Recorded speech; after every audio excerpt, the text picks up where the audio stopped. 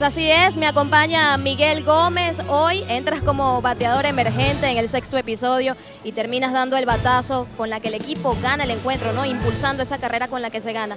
Háblanos de la mentalidad con la que fuiste al home play y por supuesto de si se te pidió algún trabajo especial. Felicidades, Miguel.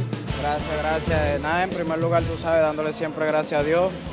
Y nada, siempre preparándome, tú sabes, para estos escenarios así, como lo cual se me está dando, gracias a Dios ya eh, desde que estaba en Grandes Ligas siempre me sacaban así de pingir y gracias a Dios siempre he mantenido esa mentalidad de estar preparado para cualquier situación como esta que se presentó hoy y gracias a Dios las cosas sucedieron bien.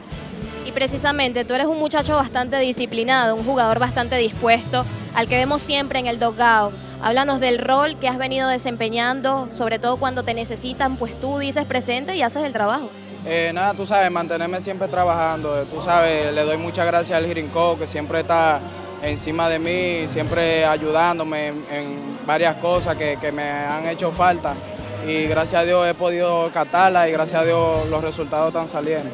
Miguel, una victoria importante porque se quedan solos en la segunda posición en la tabla y además ganan la serie particular ante las Águilas Ibaeñas. ¿Qué debe hacer o debe seguir haciendo Leones del Escogido en esta parte tan importante, tan crucial de la temporada?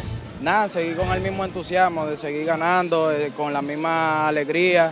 Eh, creo que a pesar de que pasamos por un momento un poco crítico, eh, los muchachos hemos sabido levantarnos y nos hemos mantenido con la frente en alto de que sí tenemos un buen equipo y creo que gracias a Dios vamos a seguir ganando los juegos que faltan porque realmente nosotros estamos dispuestos a, pasar a la siguiente ronda.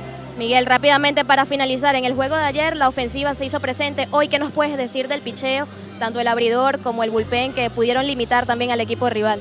Oye, de verdad que gracias a Dios estamos teniendo, eh, los pitches están teniendo buena salida y cuando tú tienes un pitcher que te tira seis y luego viene el relevo, sigue el mismo ritmo, eh, creo que que las cosas pasan así como pasaron hoy.